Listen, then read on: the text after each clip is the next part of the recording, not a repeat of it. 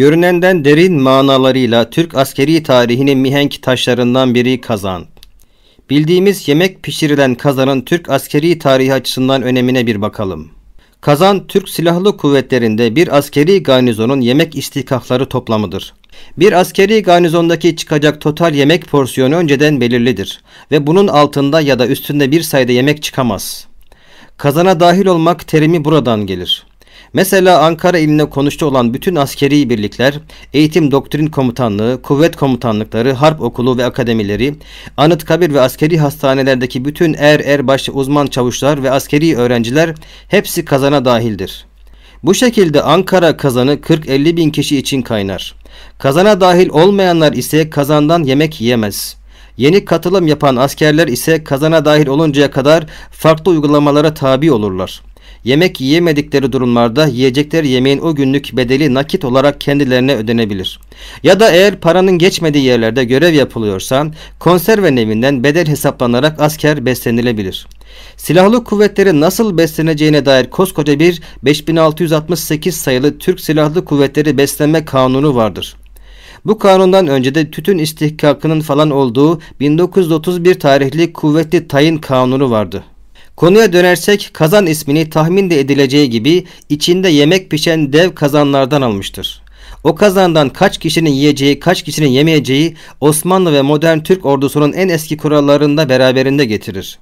Bir kere kazandaki yemeği reddetmek suçtur. Sultan Selim dönemi terimlerinden biri olan kazan kaldırmak bu yemeğin topluca reddedilmesi manasına gelir. Zamanında Yeniçeriler eğer o gün isyan edeceklerse ilk olarak gelen yemek malzemelerini kazanlarına koymayı reddediyorlar. Kazanı kaldırıp ters çeviriyorlar ve sultanın ihsan ettiği yemeğe ve dolayısıyla iradesine kazan kaldırarak baş kaldırıyorlardı. Bu bugün dahi vardır.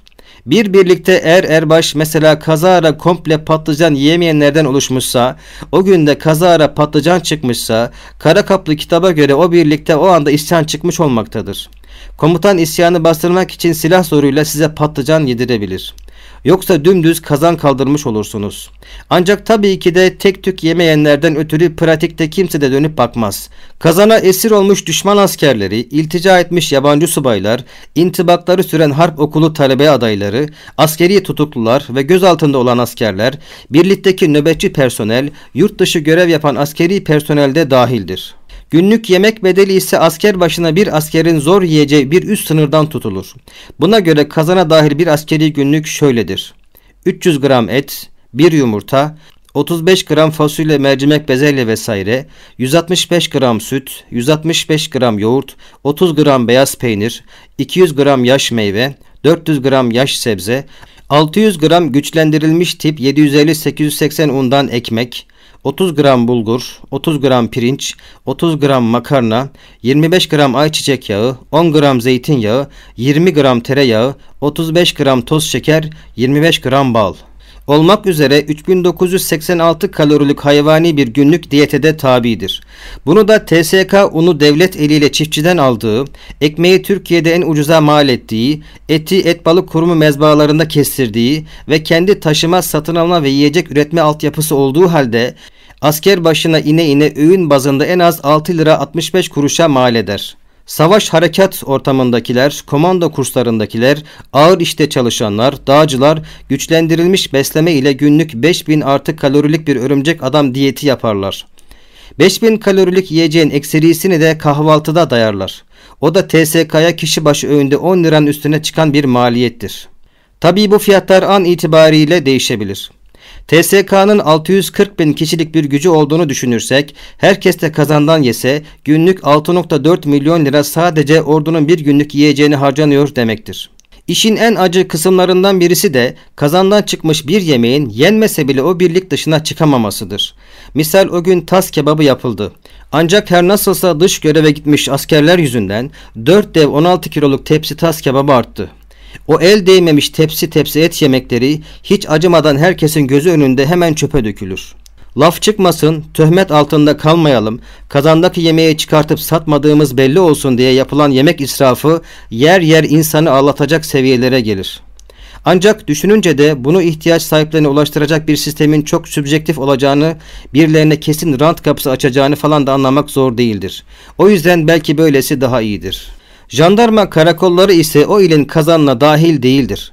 Jandarmalar İAŞ bedeli denen bir uygulamayla karakollarda bedelen beslenirler. Kendi minyatür kazan sistemlerini işletirler. O karakolda görev yapan rütbeli personeller de bu bedele dahil olacaklarından bir miktar ekstra ücret alır. Yiyeceklerini ceplerinden öder, ne kadar ödemişlerse şu kadar öğün yedim deyip geri alırlar. Jandarma karakollarında görev yapan tankçı topçu personel ise yanılmıyorsak bu aylık 665 liralık kesintiden ötürü ki jandarma 200 artı lira gibi bir bedelle iaşesini tamamlayıp aslan gibi yediğinden ben niye fazla öğün ödüyorum diye hır çıkarmaya çok meyillidir. Fiyatlar dediğimiz gibi an itibariyle değişebilir. 1970'li yıllara kadar da kazana dahil her askerin günlük 35 gramlık tütün istikakı vardı. Bu tütün ya da üçüncü marka en kötü kalite sigara olarak verilir ya da çiğneme tütünü ya da kıyılmış sarma tütün olarak verilirdi. O yıllarda askerlik yapan düşük gelirli evlerden gelen askerlerin 2 yıllık tütün istihkaklarını 2 torba sigara olarak toplayıp eve götürdükleri falan vakidir. Bu sigara istihkakı da 1. Dünya Savaşı öncesi Alman ekolünün uzun sürmüş bir yansıması idi. Günümüzde o sigaranın bedeli yemeğe eklenen ekstra etle değiştirilmiştir. Neden? Çünkü sağlıklı içinde et var. Yeni videoda görüşmek üzere.